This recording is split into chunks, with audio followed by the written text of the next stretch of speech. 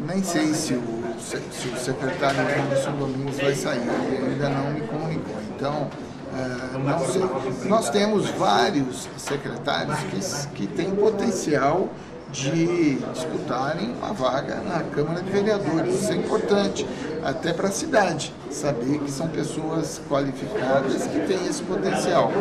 Ah, e isso vai acontecer naturalmente. Nós temos um prazo aí até 6 de abril para que isso ocorra. Né? Quem vai disputar e ocupa o cargo de secretário eh, tem esse período, essa data para poder se desincompatibilizar.